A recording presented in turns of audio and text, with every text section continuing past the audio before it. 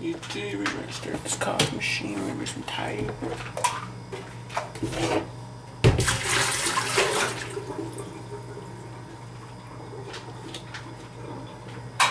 Used it before.